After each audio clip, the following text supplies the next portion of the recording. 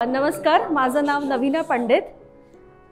गेले दोन वर्ष मी पुण्यात शिफ्ट झाली आहे आळंदीत शिफ्ट झाली ॲज अ एच आर म्हणून माझा सतरा अठरा वर्षाचा एक्सपिरियन्स आहे. पण आत्ता असं झालं आहे की मुलगी दहावीत गेली. त्यामुळे म्हटलं की ब्रेक घ्यावा मुलींना वेळ द्यावा.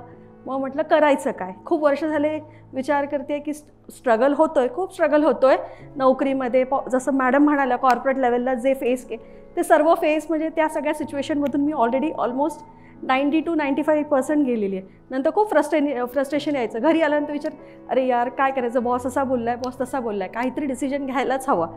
नंतर मग बरंच मार्चपर्यंत मी जॉब केला आहे एप्रिलपासून ब्रेक घेतला आहे नंतर बरंच सर्च करत होती. म्हटलं काय करूया काय करूया? खूप यूट्यूबचे व्हिडिओज बघितले. सगळे बहुतेक नाईंटी नाईन पर्सेंट लोकांना मी फॉलो केलं आहे इन्स्टाला टेलिग्रामला यूट्यूबला सगळ्यांना केलं आणि ते पण म्हणजे well known well known experience person होते.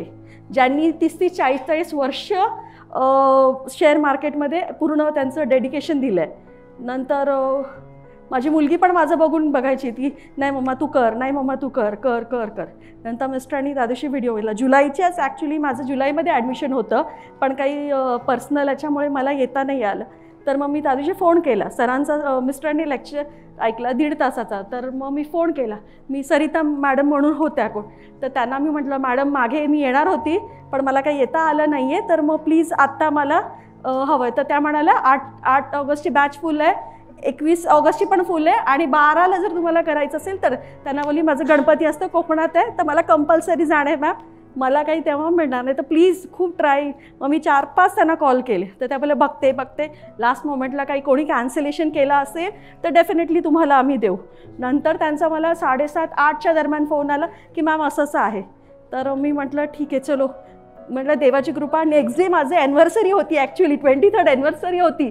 पण मिस्टर बोलले नाही this is the start before twenty three माझं एक इनिंग स्टार्ट झालं होतं. आता आठ ऑगस्टला एक सेकंड इनिंग चालू झालं आहे आणि याचं पूर्ण श्रेय मी माझ्या नवऱ्याला आणि माझ्या पंधरा वर्षाच्या मुलीला देते. बिकॉज त्यांचा नाही मम्मा तू कर. नाही मम्मा तू कर. तुला जमेल. सगळ्यांना जमतं तर तुला का नाही जमणार? बिकॉज ऑफ दॅम मी इथे आहे. आणि सरांचा जो कॉन्फिडन्स होता माझ्या मिस्टर बोलले नाही सर कॉन्फिडन्स देत आहेत की ते म्हणजे काय म्हणतात न्यूजमध्ये म्हणाले सर जसं की अजिबातच म्हणजे लॉस होऊच शकत नाही. तर मी म्हटलं नाही यार आपल्याला बघायला हवं ट्राय करायलाच हवं काही ना काहीतरी. बिकॉज ऑफ हे चार दिवस पहिला दिवस सर मला अजिबात काही कळालं नव्हतं.